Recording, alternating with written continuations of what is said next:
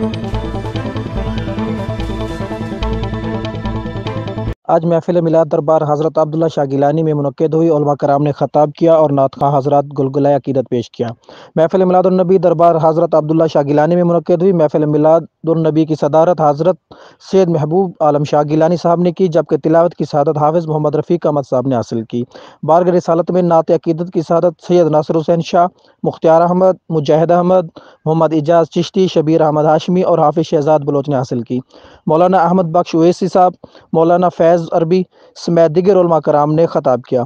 नकाबत के फ़रज़ हाफिज़ मोहम्मद रफ़ीक अहमद ने सर अंजाम दिए। इस मौके पर साहबजादा Syed Salauddin Shah Gilani, Sahibzada Syed Mehboob Alam Shah Gilani, Sahibzada Syed Alam Shah Gilani, Tariq Malik, Khalid Malik, Jam Bakht Ali E N news reporter Liaquatpur, Rais Haji Mohammad Ashraf, Mohammad Mushtaq Ahmad Mehboobi समेत अशकान रसूल की कसर तदाद मौजूद थी।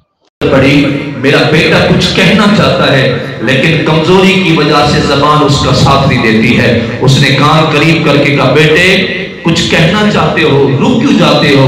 उसने कहा, अब्बा, मैं कुछ कहना तो चाहता हूँ, लेकिन लगता नहीं मेरी ख्वाहिश को पूरा किया जाए। उसने कहा, बेटे बेटे बोल तो सही तो मेरे जिगर का टुकड़ा है उसने कहा अब्बा मुझे मर्ज जिस्म नहीं लगा, मुझे मर्ज दिल लगा हुआ है।